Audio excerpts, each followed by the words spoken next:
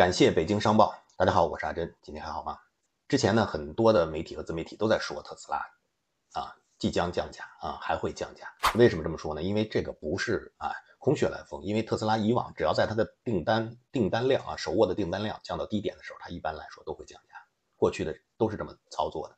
就比如说七万八万的时候啊就开始降价了。那前一阵子它的订单量又降到了七万左右啊，七八万的这样子，它就会降价，然后让它的手手中的订单量始终保持在啊十万以上啊。这说的是中国国内啊，但是呢，这不是中间又出了其他事情吗？啊，这个北京商报啊出了一篇文章，痛批特斯拉啊，说特斯拉降价害人害己啊，伤人伤己。啊，说特斯拉降价不但啊损害了这个自己企业的利益啊，损害了股东利益啊，损害了自己的这个品牌和商标，损害了自己的品牌附加值啊，而且还伤害到了其他的这个整个行业，导致整个行业的内卷啊，大家都被迫跟着降价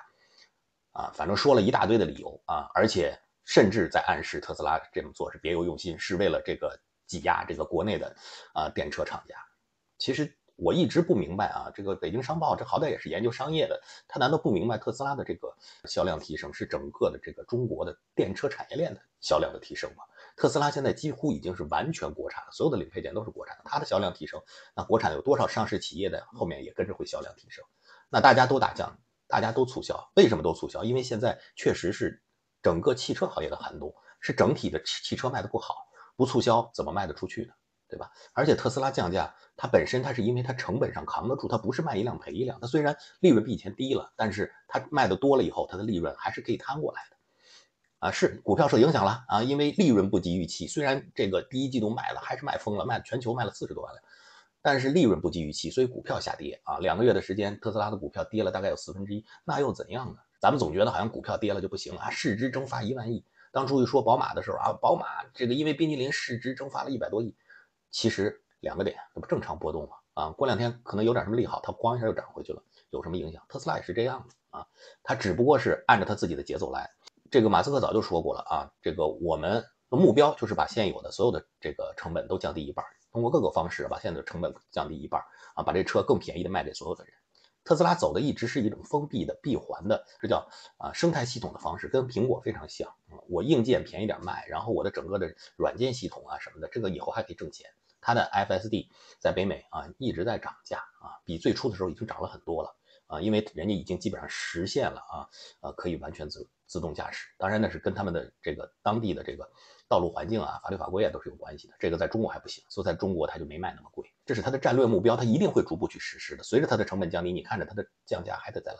但是呢，因为有了北京商报的这这一通舆论造势啊，很多媒体又跟上指责特斯拉这种降价行为不道德啊，不道德。然后挺好，哎，在昨天，那特斯拉官方宣布啊，这个主力车型 Model 3、Model Y 啊，每款涨两千块钱，啊，虽然涨得不多吧，但是人家这个意思就是，你看啊，你们不说我降价不好，那我涨价啊，涨价，那你们没得说了吧？啊，这个报纸批特斯拉这个批特斯拉那那个，唯一没批的就是它的降价，让它的降价导致整个的连锁效应，让消费者得到了实惠。那这个市场啊，应该是为谁服务的啊？整个的汽车产业应该是为谁服务？唯独不提消费者。